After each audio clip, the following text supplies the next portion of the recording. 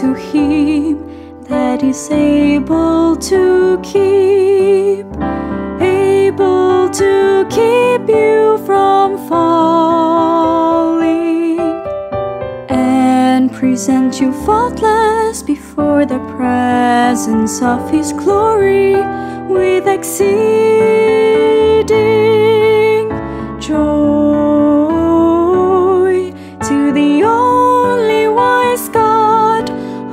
Savior,